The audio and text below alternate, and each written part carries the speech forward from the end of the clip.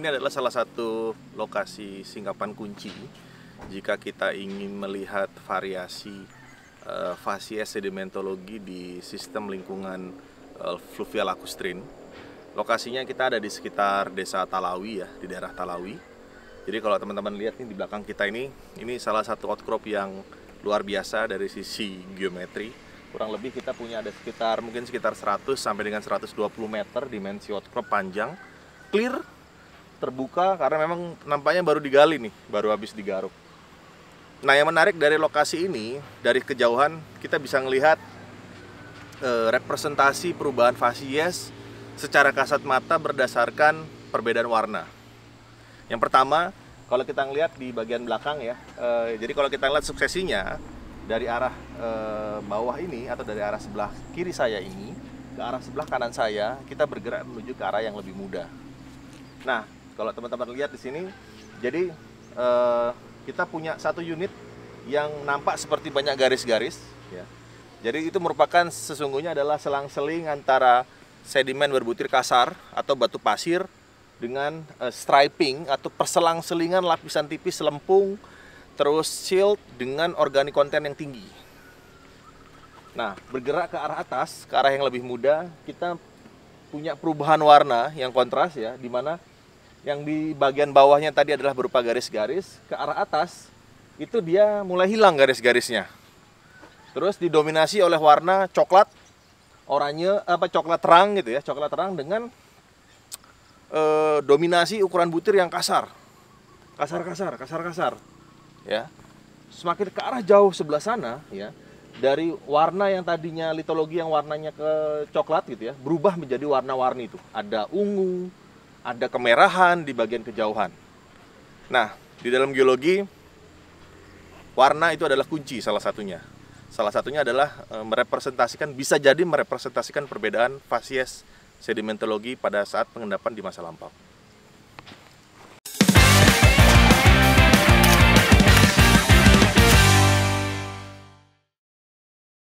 Oke, uh, unit yang paling bawah ya kalau teman-teman lihat yang tadi kita lihat Eh, banyak garis-garis itu sesungguhnya eh, merepresentasikan dua struktur sedimen yang sangat kontras satu dengan yang lainnya.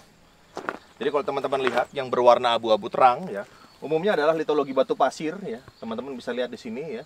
Terus dia struktur sedimen yang kontras atau yang paling umum bisa kita lihat di sini adalah granite bedding atau bagian bawahnya kasar dan semakin menghalus ke arah atas tanpa kita melihat ada eh, indikasi-indikasi uh, signifikan terkait dengan uh, struktur-struktur sedimen traksi. Artinya yang lapisan berwarna abu-abu ini itu kemungkinan dia diendapkan melalui mekanisme gravity. Kontras dengan litologi yang kasar, kita punya perselang-selingan ya yang berwarna gelap ini. Itu perselang-selingan antara lempung dengan batu pasir sangat halus dan dia warnanya hitam. Hitam artinya dia punya kandungan organik konten yang tinggi. Dan umumnya struktur sedimennya karena dia itu dia umumnya adalah laminasi. Laminasi dan membentuk struktur yang sering kita sebut sebagai papery ya. Jadi paper itu menyerupai lembaran-lembaran kertas mudah kita buka. Nah, apa benang merah perselang-selingan dengan yang granite bedding kita lihat? Benang merahnya adalah dua-duanya merupakan struktur sedimen yang um, yang mekanisme pengendapannya itu adalah secara gravity. Namun, kedua litologi itu mempunyai perbedaan dari energi. Kalau yang batu pasir jelas kita berhadapan dengan uh, gravity uh, berhadapan dengan energi pengendapan yang pada saat itu adalah tinggi. Jadi sesuatu yang digelontorkan. Sementara lempung, perselang-selingan lempung ini itu merepresentasikan suatu kondisi tenang di mana yang terjadi pada saat itu adalah suspensi. Nah, kombinasi dari dua fitur itu tadi di dalam sistem lakustrin, kita tahu bahwa ini adalah bagian dari formasi sangkarewang yang umumnya terkenal dengan e, fasies atau formasi yang diendapkan pada lingkungan fluviatil hingga ke lakustrin. Dua unit tadi itu merepresentasikan e, kondisi ke lingkungan pengendapan yang umum kita jumpain di dalam kondisi distal di dalam sebuah sistem lakustrin.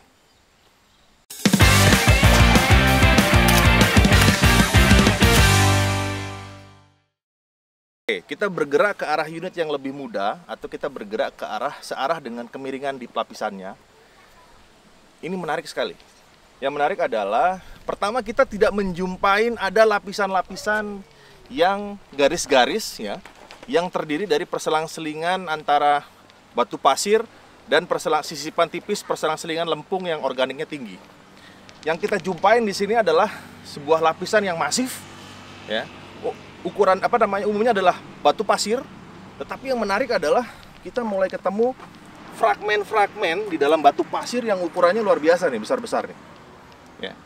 Nah ada uh, ini ini merupakan salah satu indikasi uh, telah terjadi perubahan lingkungan pengendapan dari bawah tadi ke atas. Yang bisa kita pegang adalah salah satunya adalah yang ke, uh, struktur sedimennya. Kalau teman-teman lihat di sini ya hampir sebagian eh, fragmen-fragmen uh, tersebut membentuk uh, lineamen nih, membentuk uh, apa namanya mem membentuk sebuah pola ya, pola yang menyerupain uh, sering kali kita jumpain di sistem-sistem uh, sungai atau di sistem-sistem uh, aluvial fan ya. Dan ini sebenarnya menjadi salah satu indikasi bahwa dari bagian paling bawah tadi ke atas nampaknya kita ber, e, berhadapan dengan perubahan lingkungan pengendapan yang semakin ke arah sini semakin mendangkal nih. Ditandain dengan kita sudah kehilangan e, tidak kita jumpain lagi di sini ada lapisan-lapisan perselang-selingan yang sebenarnya representasi daripada muka air atau pengendapan di bawah muka air. Ya. Dan ini isinya hanya apa namanya hanya uh, sedimentasi kasar saja.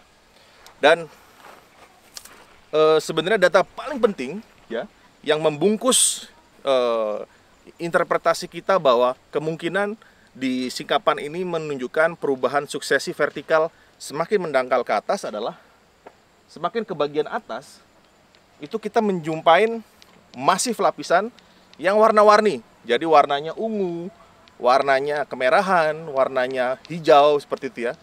Itu mirip dengan Eh, fitur-fitur uh, yang kita lihat di awal di, uh, di beberapa lokasi misalnya tadi di daerah Siloke gitu ya yang umumnya ber, berasosiasi dengan lingkungan-lingkungan proksimal di dalam sistem fluvial. Misalnya uh, sistem channel, braided atau sistem alluvial fan. Jadi jelas di sini kita bisa bungkus ya dari bawah ke atas ini suksesi ideal. Apa yang sering kita sebut sebagai suksesi mengkasar ke atas semakin mendangkal ke atas atau bahasa kerennya sering kita sebut sebagai sesuatu hal yang prograding dari bawah ke atas di dalam sistem fluvial dan lakustrine.